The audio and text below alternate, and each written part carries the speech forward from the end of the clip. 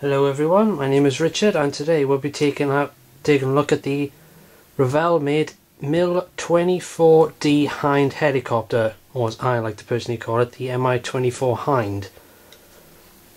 Without further ado, let's have a look what we got inside.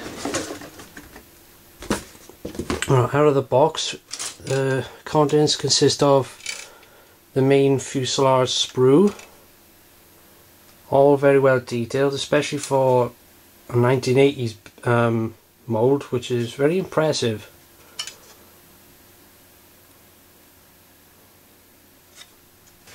And the next sprue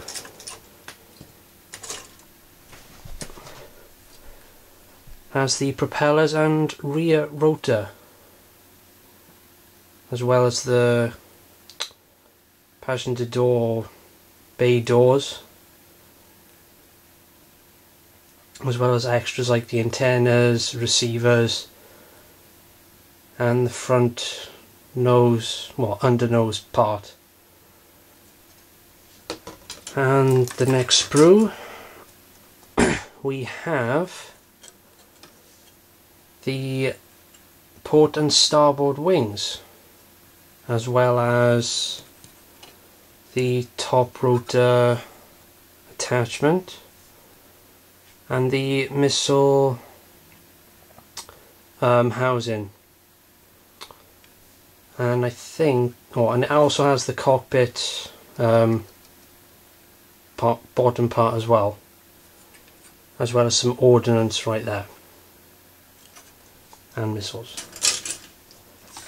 And the next one we have the engine intake cover or front piece the rear tail fins, the cockpit itself, um, the well actually say now that's the top rotor part sorry. Um, it does come with two pilots but personally I don't bother with them because I'm not very good at painting uh, people. And we also have the actual um, exhaust vent right there. And the last sprue we have are the crystal or clear sprues which consists of the the cockpit cover, the um,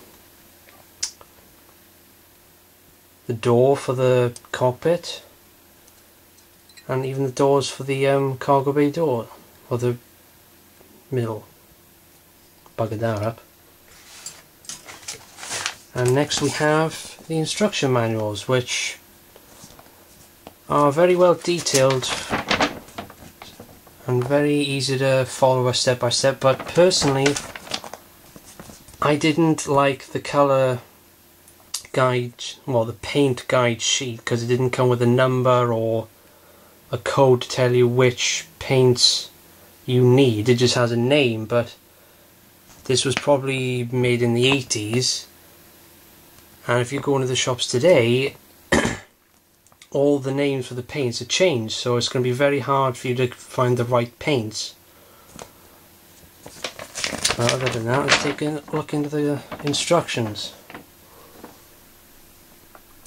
All very well easy to follow and very clear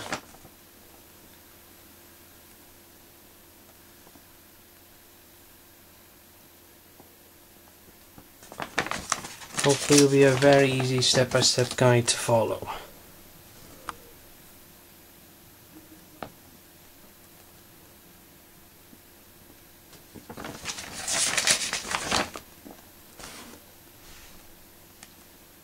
And I actually cannot wait to start building this because it is just one of my favourite attack helicopters of all time.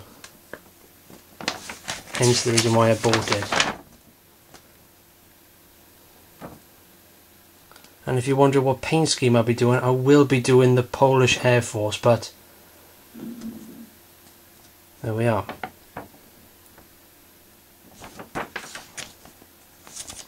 And then the back is just uh, the top part for the paint scheme. And last but not least, we have the decal sheet or decal sheet, which are very well detailed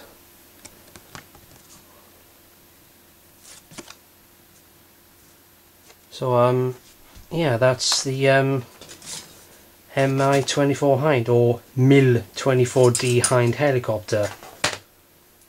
So I hope you enjoyed that unboxing and yeah, please rate, comment and subscribe if you feel like it. Peace out.